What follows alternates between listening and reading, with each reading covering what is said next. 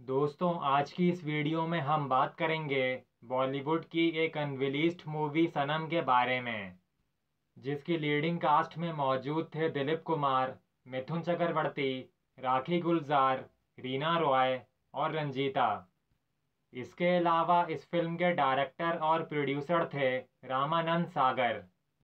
अब बात करें इस फ़िल्म से जुड़े बेहद यूनिक पॉइंट्स की तो इस फ़िल्म में हमें नेवर एवर सीन पेयरिंग दिखने वाली थी, जहाँ बॉलीवुड के most respected actor Dilip Kumar और सुपरस्टार मिथुन चक्रवर्ती पहली बार किसी फ़िल्म में एक साथ कास्ट किए गए थे।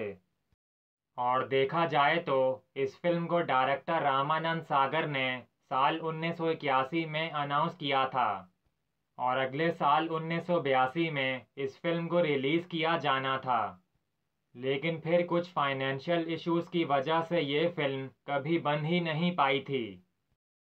क्योंकि उन दिनों रामानंद सागर बगावत फ़िल्म की शूटिंग भी कर रहे थे और ये फ़िल्म पिछले चार पाँच साल से बन रही थी और इसका बजट भी बहुत ज़्यादा बढ़ गया था और ये फ़िल्म जब रिलीज़ हुई तो बॉक्स ऑफ़िस पे भी इतना कमाल नहीं कर सकी थी और इस वजह से रामानंद सागर ने सनम फ़िल्म को ना बनाने का फैसला किया था।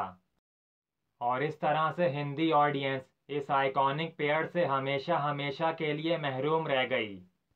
और मेरे ओपिनियन के मुताबिक, अगर दिलीप कुमार और मिथुन चक्रवर्ती एक साथ आ जाते तो ये फ़िल्म भी एक यादगार फ़िल्म बन जाती।